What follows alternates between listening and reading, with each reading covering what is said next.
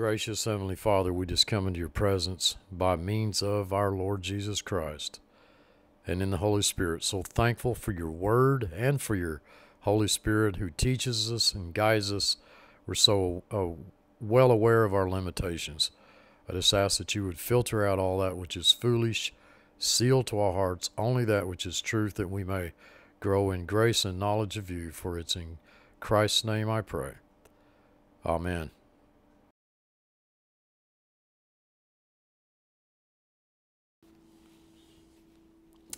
Hi, this is Steve at blessedhopeforever.com. We've been studying together in the second epistle uh, to the Corinthians, verse by verse. Uh, we have reached the uh, final chapter, and we're going to uh, be looking at that this Sunday.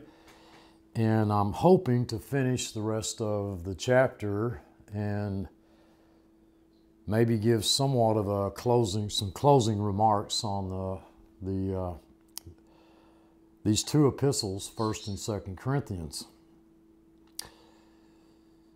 And I hardly know where to start. I do think that it's a little, well, I find it a little, I don't know, sad that we've reached the end of this study. Uh, these studies have been so beneficial for me uh, it's been a great blessing to share them with you.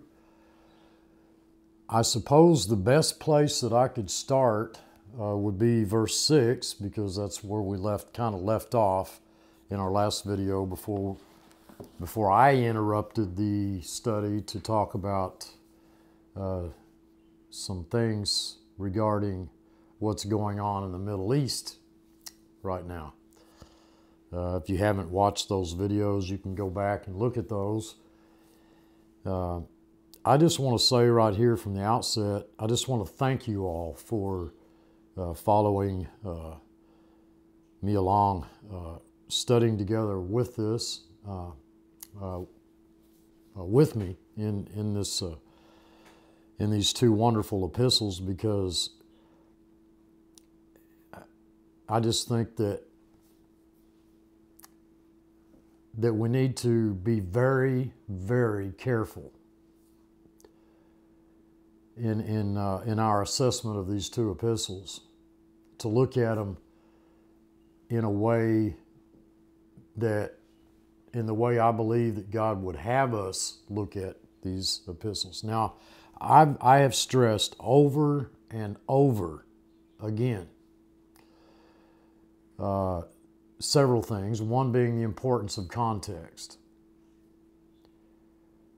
But I wonder if I have stressed enough the fact that we're not looking at Paul,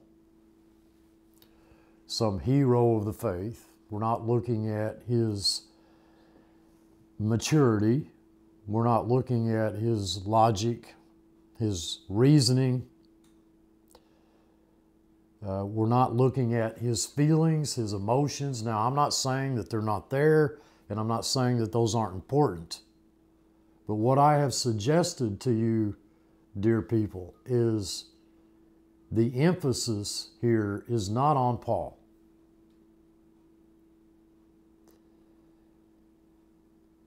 I want to remind everyone at the outset of this, this last and final video, on this series of studies that Paul was chosen by God to complete the Word of God at a particular time in which Paul, the revelation given by God the Holy Spirit to Paul, was a stand in, a fill in, until the Word of God became complete.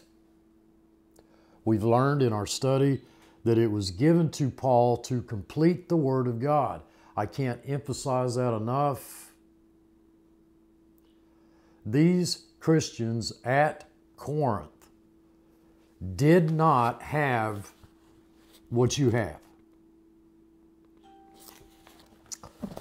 They didn't have the Word of God.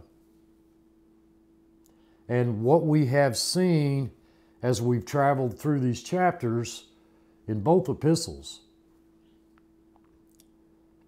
is, is, is that this group of believers at Corinth, which was this group of believers, you might say, were comprised of not just one church in Corinth, but all, all of the believers at Corinth, in which the, these letters were probably shared. God is writing to His people, His people. We need to keep in mind that God was talking to His people, not to non believers he did mention non believers to his people in the epistle, but there's no command at all. Not only is there any command given to a non believer to pay attention to what God is saying, but you never once have God, the Holy Spirit, the author of this epistle, reprimand and I, don't know, maybe that's not quite the right word to use. He, he certainly exhorted them, he encouraged them, he, uh, and I pointed out how that if, if the Word of God is not, if it doesn't encourage you, it's not the Word of God. I find it amazing that our Heavenly Father and God the Holy Spirit had nothing to say to the Corinthians that was condescending. These, the audience of this epistle is God's children. Not just historically in context, God's children back then, but there's an, obviously an application to us today. God did not condemn the single most carnal group, group of Christians I think that ever existed. Well, since the before the great flood. I can't emphasize enough how carnal and fleshly these Christians were. And what we've come to understand about that carnality and about that, that, that fleshly mindset, the, the, the carnality that God, the Holy Spirit, is pointing out here in these epistles for them and for us, is that it has nothing to do with trying to gain merit or favor with God based upon what we do, our performance. The message was not you. You guys are just uh, um, you're the most motley group of Christians, the most horrible, you know, fleshly, carnal, sinful, you know, messed up group of, of, of Christians, and you need to get your act together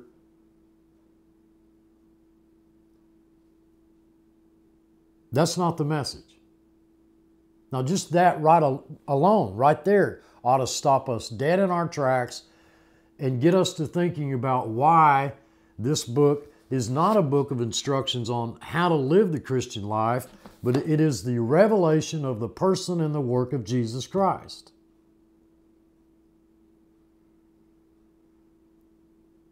Now, I could jump to the end of this video and I could just say to you all,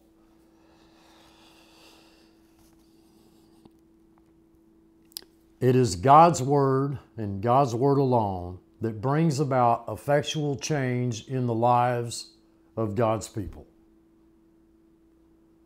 Now, let's suppose that I went around with a sign, carrying a sign to everybody I met that said just what I just what I got through saying.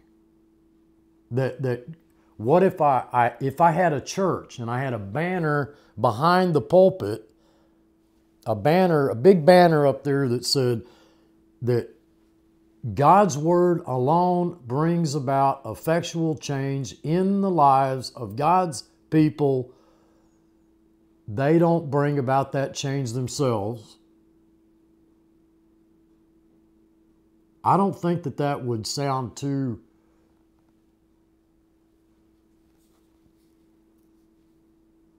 too wrong.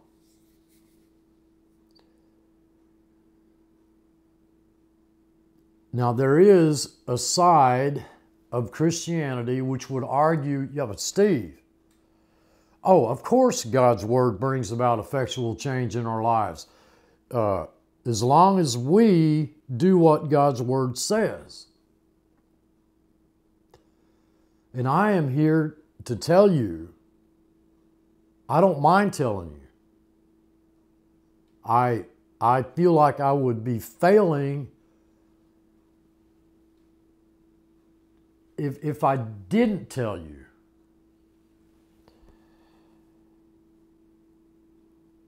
and remind you, folks, that we, neither these Christians at Corinth nor you or I are under law as a rule of life, a principle of life. What is law? It is any given standard whereby we might attain or maintain righteousness on a human level. There is nothing at all in either epistle, 1st or 2nd Corinthians. Not I mean from the beginning to the end, there's not one shred of evidence that indicates that God the Holy Spirit was appealing to a group of believers, his his family, the family of in the household of God, to bring about effectual change in their lives through law. In fact, not, not only is that not true, but it was the very problem that brought about the carnality in the first place. The reason why these believers at Corinth, God called them carnal, well, there were, there were, it manifested itself in numerous ways. But one of the main ways in which it did manifest itself was that they were they were they were they were stumbling along sort of in the dark. They didn't have God's revelation to guide them through that period of time. And so there was arguing and infighting among them, and there were divisions. There were those who were saying, I am of Paul, I am of, of, of Apollos, I'm of Cephas. We, we come to the end of, of the last chapter, the last, the last several chapters of Second Corinthians, and we see that what the context is, is a, for lack of a better expression, an apologetic by the, God the Holy Spirit, uh, defending His Word, the validity of His Word, the authority, the authority of His Word, the effectiveness of His Word. Let, let me tell you what it all reminds me of. Of what John wrote in John chapter 7, I believe, chapter 17, verse 17, I believe.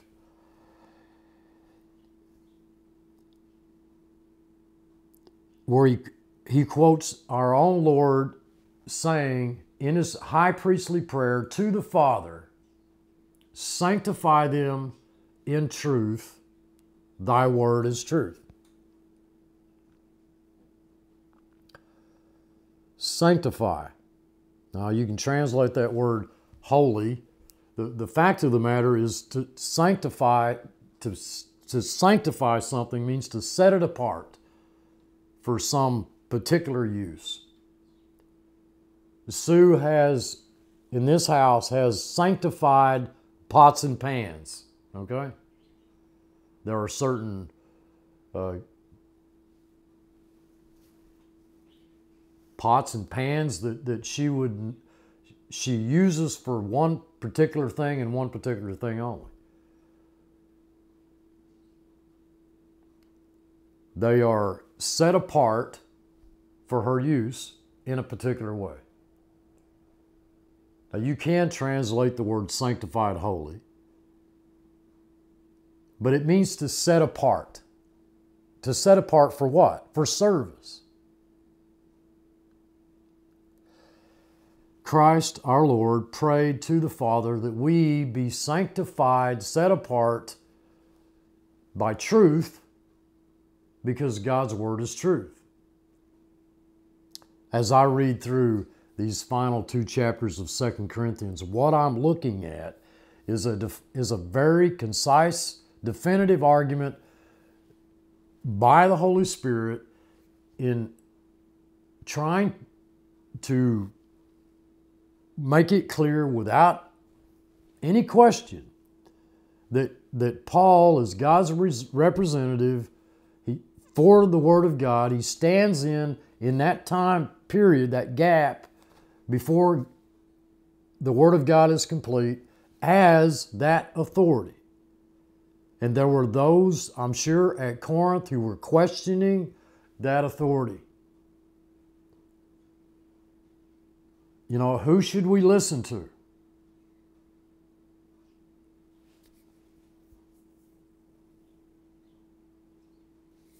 We left off at verse 5.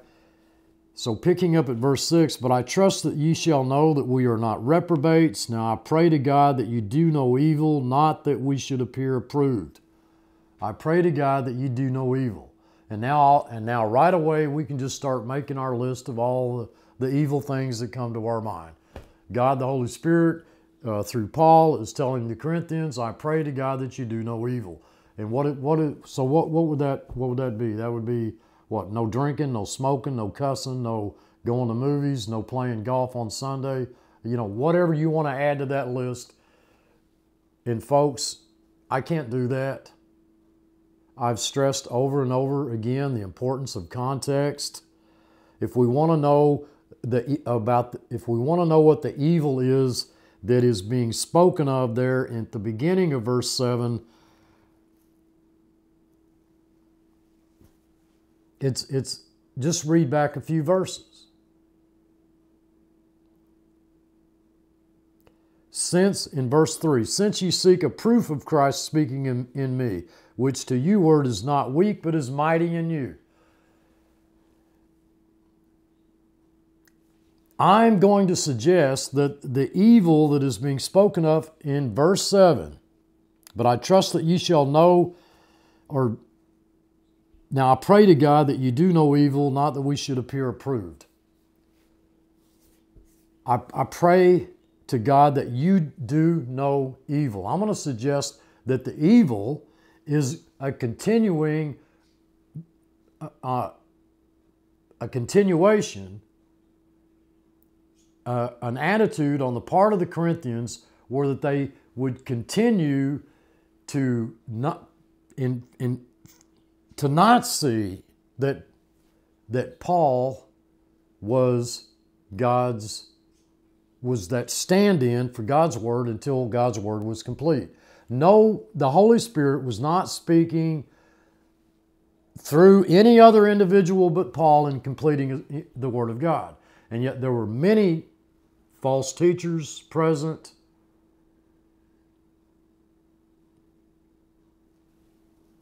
Those who were that we read about, which in which Satan masquerades his messengers as messengers of the gospel.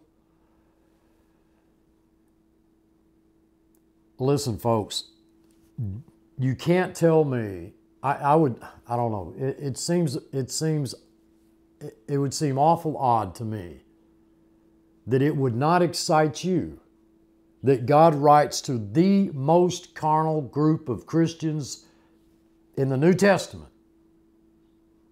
And, and I want to, I, I need to stop myself right there and, and at least bring it to bring it to mind here that, that that does not mean that there weren't carnal Christians at Ephesus or Philippi or Colossae or, or anywhere else.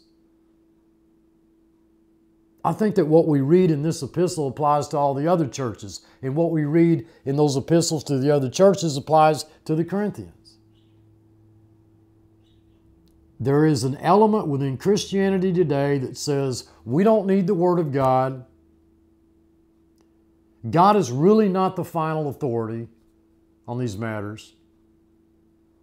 Our, our attention, our minds, our focus is not on the, the strictness of, of uh, and the effectiveness of God's Word, the power of God's Word.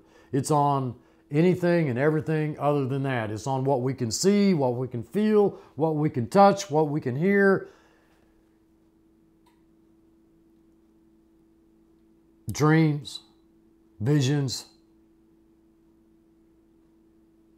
Folks, we know we don't walk by sight. We know that God's Word is the only roadmap through, our, through life.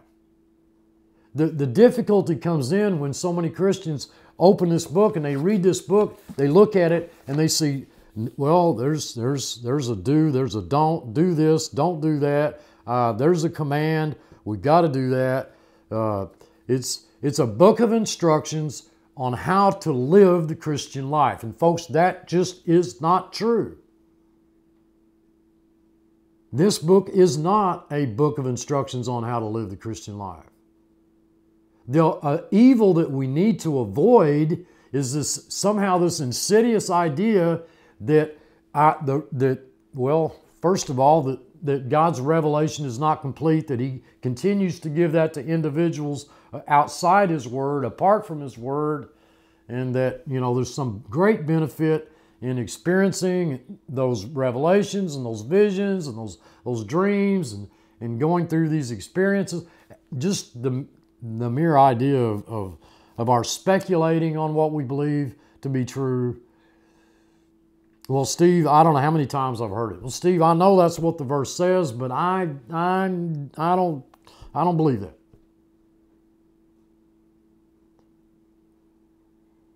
And the reason you don't believe that is because you've already developed this uh, preconceived set of ideas where you've made up your mind that this is what you believe, and now you go looking through this book to help find verses to support your view, to support your position. Folks, it's the other way around. We don't decide what it is we believe and then go through this book looking for, you know, what, you know, whatever we can find to help support that, that view. Our lives are effectively changed through God's Word. Isn't it amazing that the Lord just said to the storm, you know, peace be still? He just commands it and it and it and it happens.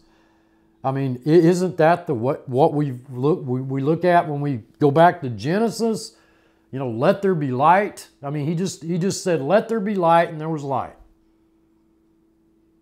He can't, so you're telling me that God can't say, just say, let this man be righteous and, and he's righteous.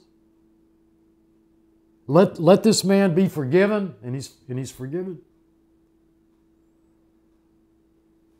I don't know why Christians are so adamant, so just die hard, insistent on believing that the Christian life is, is little more than, than making ourselves qualified to, to where that we qualify ourselves to fit whatever this book says. I'm trying to get you to reverse your thinking here as we close out this second epistle. And in the last chapter, we're looking at what we're looking at is these believers at Corinth sanctified by truth, sanctified in truth because God's word is true. God's word brings about, brings about the effectual change in our lives today, just as it did in the lives of the Corinthians back there at, during that time. His word does that. I, I can't, I just want to scream it from the rooftop. I, I, want, I do not want you folks to miss the most important factor in all of this and that is it is God's word that brings about the change that you so desire in your life. It's the very truth itself sanctifies you. It sets you apart for service, for God's service. There is nothing that you could do outside this book. Just we just close it. Let's put it away. Now we don't have it. Just like the Corinthians back then, they didn't have the Word of God. So they had to have someone to listen to. Well, Paul, are you the uh, are, are you that authority? Should we be listening to you? Should, should we be listening to this guy? Should we be listening to this guy? Should we be looking around us externally, you know, looking at, the, at our lives and our circumstances and what appears to be on the surface in some indicators that that that whatever indicators we can find that would justify our believing what we believe.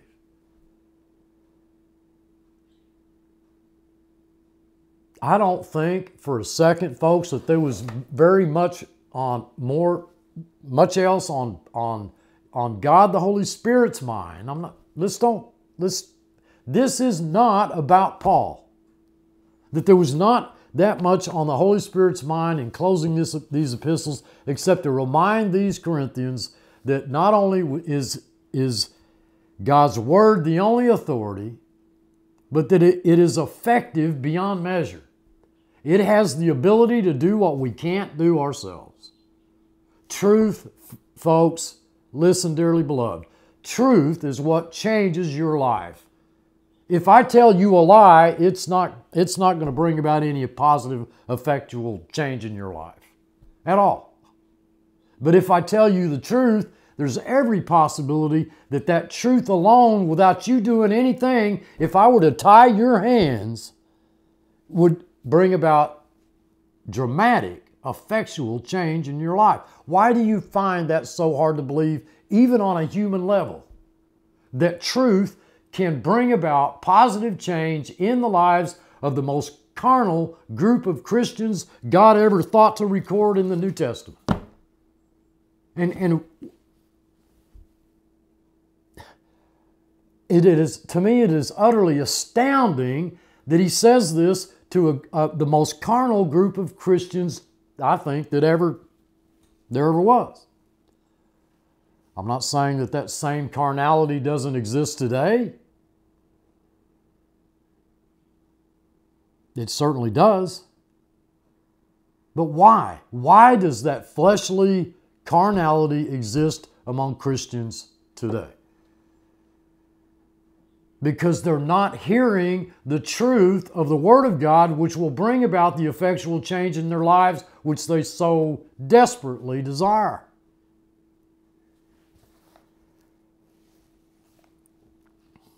Not that we should appear approved, Paul says. It has nothing to do with, I, I'm not trying to, to, to do what I'm doing with you folks so that I appear approved. but that ye should do that which is honest, though we be as reprobates.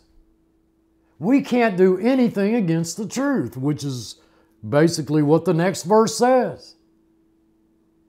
We can do nothing against the truth, but only for the truth. For we are glad when we are weak. Wow. I thought we were supposed to be glad when we're strong. Not glorying in our weakness.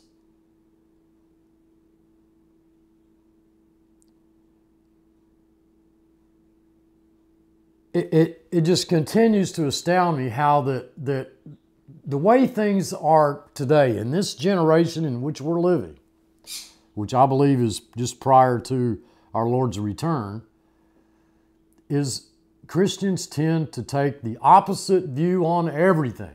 Satan has so flipped everything around 180 degrees. The word can, the word can clearly state that when I'm weak, then I'm strong, and yet Satan insists that, well, it's just the opposite. How can there be any strength in weakness? You got to be strong.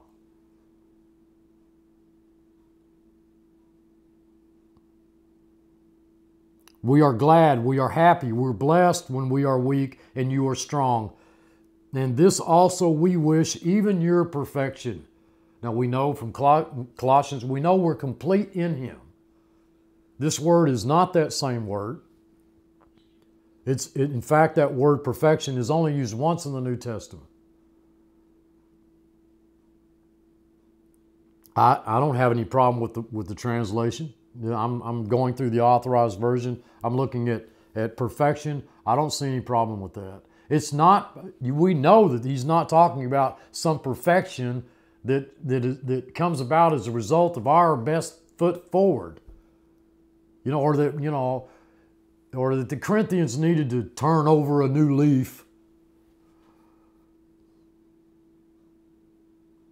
I suppose you could say they needed to turn over a new leaf, but but the, I, I would suggest that the new new leaf they needed to turn over was the pages of Paul's letter. we don't. It's our lives. We don't boast in ourselves. Our lives are not some life that we can say, "Well, I turned over a new leaf." You know, so you know you should too. Dearly beloved, that's law. that's not grace. Paul is wishing that they would come to realize the true nature of their position in Christ, in which they, their lives are only perfected through the truth of this book. The Holy Spirit has not abandoned the whole idea of the whole narrative of the, of the argument or the what you'd call maybe perhaps the uh, apologetic of defending his word, the authority of it, and the effectiveness of it. And this through the Apostle Paul, no one else. Paul was specifically chosen for that task. And the Word of God is complete. And now you and I, we have this Word of God. We've had it for nearly 2,000 years. There is nothing outside this book that is going to, to, to draw you one microcosm of a step closer to God. No, no, no experience, no dream, no vision, nothing else, not, nothing that some other preacher that I say or any other preacher says. I can sit here for 30 minutes and I can I can just spout one error after another. All right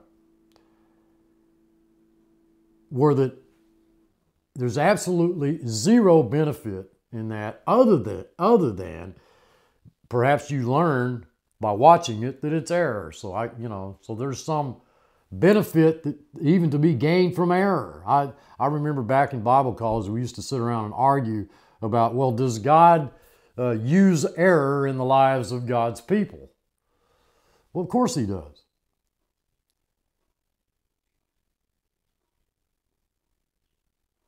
Therefore, I write these things, verse 10, being absent, lest, lest being present, I should use sharpness according to the power which the Lord hath given me. What, what power did the Lord give this book? His Word. Uh, Paul didn't have a magic wand. He didn't have some power. He didn't have a some you know I don't know, supernatural sword to slay his enemies.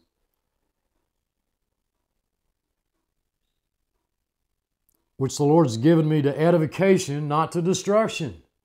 This is the Holy Spirit. This is God the Holy Spirit talking to you, saying that He does, he does not do anything in your life to tear you down, only to build you up. And it all comes through this book.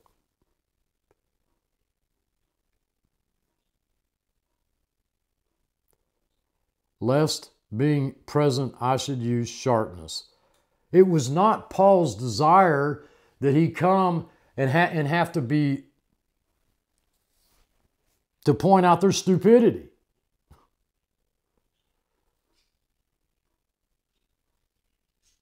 But even if he had, even if he did, it would not have been to their destruction. It would not have been to tear them down, but only to build them up. Paul, the, God the Holy Spirit, in your life and mine, never, ever says anything to you to tear you down. You know, we, we, know from the the book of John, how, how the Holy Spirit was sent given us as a comforter. Well, you know, what, he, what does the Holy Spirit do? He's okay. So he's our comforter. So as he, as we're going along, and God the Holy Spirit is our comforter, He's going to tear us down. Finally, brother, in verse 11, farewell. Be mature, perfect. The word is mature.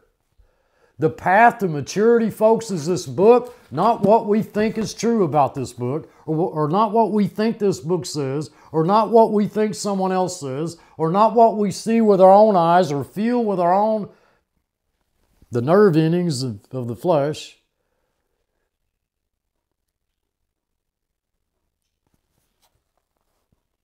Be of good comfort the most motley group of Christians to ever live, and he's telling them to be comforted. Be of one mind. Be of one mind.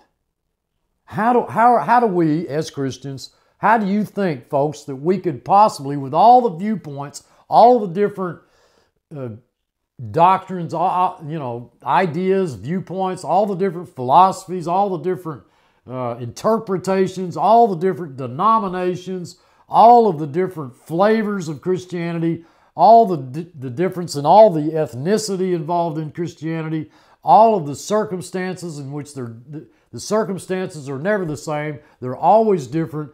How do we, how, how can we possibly all be of one happy mind? I mean, of one, one mind. How can we do that? How can we do that? Well, folks, the, the, the answer is obvious. In Christ, in the Word of God, and in Christ, the, there's nothing but unity.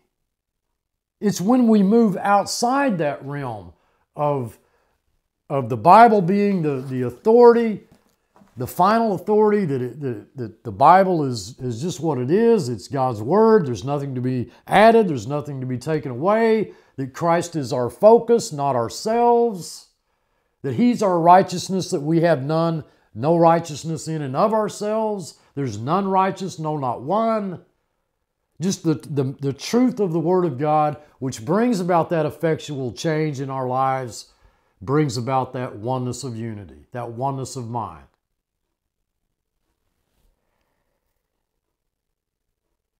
Live in peace, the text says. Verse 11 live in peace.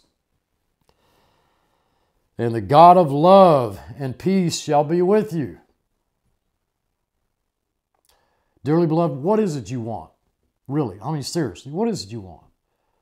Do you, uh, you want to wake up every morning and, and go, go about your day in, a, in some agonizing ways to try to appease some angry God that you feel like that you have to appease in order to gain merit or favor with that God, that, that if you don't do that, that He's mad at you, that He doesn't love you, that you're not going to heaven. You've got to qualify somehow.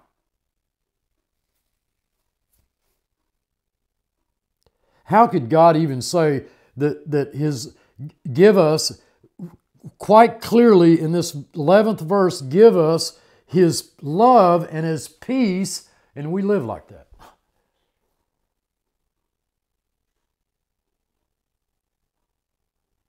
I don't know how many, I would say, I would venture, I, I'll, I'll go as far as to say there's, there could very well be millions of Christians living today who have God's love and God's peace and God's forgiveness. I don't think this is any stretch of my imagination to say this, that they don't believe it. They don't believe it. You can be forgiven and not believe it. God can love you and you not believe it. You can have God's peace and, and not, not, not believe it, not realize it, not know it. Why? Because you're not believing God in what He said.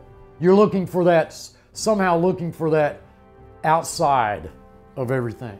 You're not going to find it.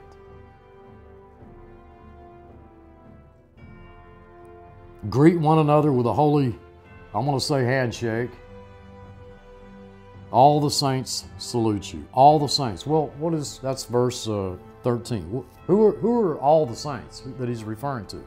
All the saints at Jerusalem, all the saints ever that there ever was.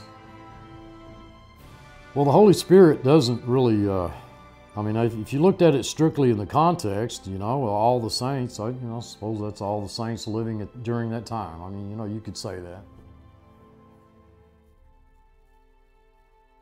I think the point of the message, I think the, the intent of the statement by God, the Holy Spirit, is to make, to put the truth in the, in the hearts and the minds of the believers there at Corinth that they are no different or better or worse than any other Christian.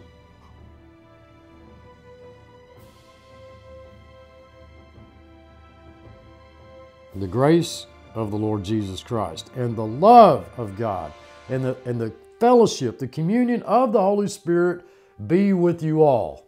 Well, Paul's saying, uh, I hope that that's the case. That that I hope that's that's true. Boy, if if, if man, I'm going to close this letter with with wishing, wishing that the grace of the Lord Jesus Christ, wishing that the love of God, wishing that the communion of the Holy Spirit be with these Corinthians. And I think that's well, foolish to look at it that way. This is not a wish or a desire on the, on the part of the Apostle Paul that these believers at, at Corinth would somehow uh, receive the love of God or, or the grace of the Lord Jesus Christ.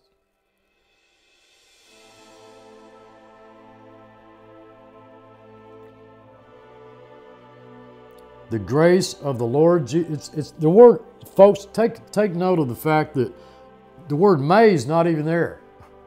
You know, it'd be different to say, well, may the grace, may the grace of the Lord Jesus Christ and love of God and the communion of the Holy Spirit be with you all. Maybe it will be, maybe it won't. That's not what we're reading. We're reading that it is. And amen, let it be so. I'm gonna I'm gonna leave it there with that, with uh, and leave you folks, you dear precious folks, with the idea of, to think about. I hope that you spend some time thinking about it. That God's Word is what brings about effectual change in our lives. It's only done through the truth of the Word of God, nothing else. I love you all, I truly do. Keep looking up. Let not your heart be troubled. Rest in Him. Until next time. This is Steve. Thanks for watching.